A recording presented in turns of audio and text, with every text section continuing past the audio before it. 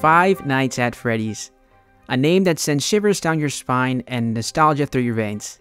It's a franchise that's been popular for years, and now with the new film, it's about to claw its way into pop culture for even longer. But, fellow LEGO enthusiasts, have you ever wondered what it would be like to bring the terror of Freddy Fazbear's Pizza to life? Brick by brick?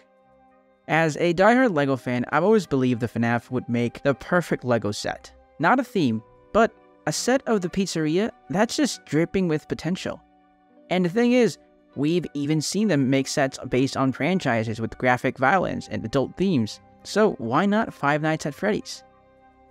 Sadly, LEGO doesn't share my vision because they've always been against the idea of embracing the FNAF franchise. They've shut down LEGO Idea submissions and they even squashed a LEGO FNAF fan game.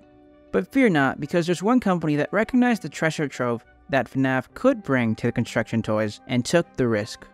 This is the tale of McFarlane Toys' Five Nights at Freddy's construction line. Back in 2015, McFarlane made a bold move into the construction toy market, an arena that had been dominated by LEGO for over 60 years. McFarlane Toys, founded by the daring Todd McFarlane, was no stranger to pushing boundaries. Years earlier, they popularized the modern adult collectible, and they recognized the lack of horror products in the construction toy market. And so, they decided to create it. Their journey began with the Walking Dead buildable sets, which were mostly aimed to teenagers, but the fact of the matter is, to thrive in the toy market, you must cater to kids. And that's where FNAF entered the picture. In 2016, McFarlane released the first wave of the FNAF line, offering four sets. They may seem small at first glance, but they're all packed with unique appeal.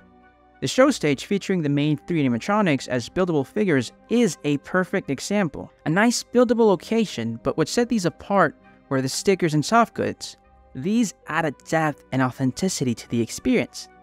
Next up was the office set, a recreation of the endgame office including Golden Freddy. McFarlane's team poured their hearts into making these sets, as true to the game as possible and that's clearly visible in all of their marketing for these. The third set brought Foxy and Pirate Cove to life, complete with a movable curtain for those peekaboo moments. And finally, closing out the wave was the backstage, featuring damaged Chica and an exoskeleton. This is my least favorite of the bunch, but the most striking aspects of McFarlane's FNAF line is its attention to detail and texture. Unlike most LEGO sets, which always exude a certain aesthetic, McFarlane sets are designed with a gritty in-game atmosphere in mind. These aren't just plastic bricks. They're more like collectible dioramas. And that is what McFarlane used to make these stand out in the world of construction toys. The second wave in 2016 expanded the FNAF world, covering three locations and introducing microsets.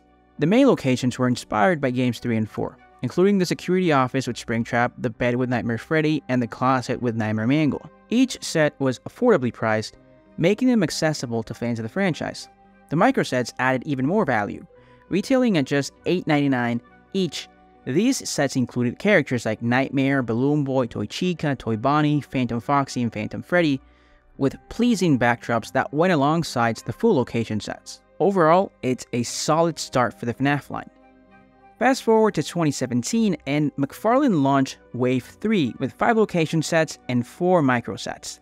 Locations were mostly inspired by FNAF 2 and included parts and service with Wither Foxy, the game area with Balloon Boy and Mangle, the prize corner with the puppet, and the party room with Toy Freddy.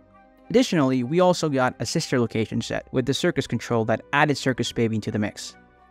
The microsets again added more characters to the world now including Funtime Freddy with Spotlight Stage right, Funtime Foxy with Spotlight Stage left, RWQ with the office door, and Nightmare Chica with right hall window. And these were a testament to McFarlane's efficiency. These managed to feel fresh even though they were the same characters over and over again.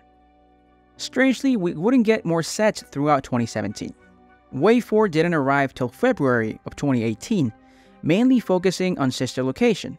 It featured three locations, the control module with Ballora, the private room with Lolbit and Jumpscare Funtime Freddy, and the scooping room with Ennard. The microsets continue to add depth by including characters and backdrops like the office hallway with Phantom Balloon Boy, the left dresser with Foxy, the party wall with Damaged Freddy, and the grandfather clock with Phantom Bonnie. Yet, it's hard to ignore the elephant in the room. These sets were just not selling. It's evident that the FNAF franchise was losing steam by this point. Interest had peaked and the fandom had started to wane. Despite the dedicated following, the disinterest was growing. The franchise's later games, such as the fourth installment and Sister Locations, lacked the iconic recognition the original trilogy had, and so having most sets be based on games 4 and 5 could be uninteresting to some fans. Enter the Classic series. The fall of 2018 reintroduced the first wave of sets, but with a twist. McFarlane addressed one of the line's most underutilized aspects, that was the lack of connection and modularity. The Classic series aimed to give fans a second chance at getting the recognizable characters, and with the release of the West Hall playset, these sets could finally connect to each other in a way that is accurate to the game, allowing kids to recreate their favorite moments and build out the game's map. Wave 5 in 2019 saw again a smaller release with three location sets being the East Hall with Freddy and Chica, the toy stage, and the office desk from FNAF 2. You could sense a shift in the design philosophy behind these. Now, the bigger sets focus more on play features, and the rest of the wave was just micro sets. But they were now a little bit more expensive, ranging all the way from $9.99 to $14.99. So the once accessible line was becoming a bit pricier. By 2020, with the arrival of Wave 6, the FNAF line seemed to have run out of ideas. Recognition of the characters became difficult for casual fans, and the direction of the line appeared muddled. Should it focus on re releases, remakes, or products for upcoming games? The franchise had become directionless, and 2021 passed without any new sets being released. But in 2022, a breath of fresh air finally came, with the release of FNAF Security Breach. This new game led fans to speculate about the line's possible return, only to receive disappointing news that the line was officially cancelled and would not return. So, what went wrong? While Five Nights at Freddy's initially enjoyed immense popularity, interest in the franchise began to wane over time. As new games were released, the series evolved, and the appeal of the games and merchandise declined. To put it in simpler terms, McFarlane found it challenging to sustain interest in their FNAF construction line year after year.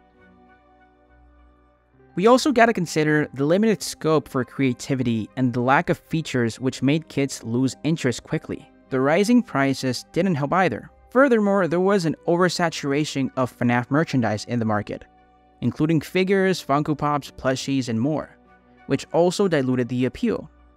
On top of that, piracy and knockoff merchandise probably also played a role in diminishing sales. It was just easier for parents to buy the knockoff character packs on AliExpress for their kids that, than the officially licensed stuff, which was more expensive. Because at the end of the day, most young kids don't care if it's official or not they just want to play with it. But considering the line's eventual demise, I now bring forward a question. What if McFarlane had persevered? What if they embraced the modular system and released FNAF Security Breach sets in 2022? With the rise of nostalgia for the brand, it's easy to imagine McFarlane's FNAF line making a strong comeback. There's a clear demand for the FNAF construction sets, as evident from discussions on Reddit and other forums. Those who missed out on the original sets now face sky high prices on the secondary market, and to me, that showcases the line's unrealized potential. There's also another argument. Maybe McFarlane's line was destined to fail from the beginning. The construction toy market is cutthroat, and most of the time, finding an audience is hard, especially when most fans already have a preconceived bias towards non-LEGO brands, looking at them as clones or knockoffs, even though most of the times there is genuine passion and hard work behind these. But that's just how the industry works. In the end, McFarlane's FNAF construction line had a promising start but couldn't keep up with the changing tides of the franchise. With the benefit of hindsight, it's clear that there is a hunger for the brand and the toy market and let's hope one day another company takes a leap of faith and brings the world of Freddy Fazbear's Pizza to life. But hey, that's just my brick opinion. Thanks for watching and take care.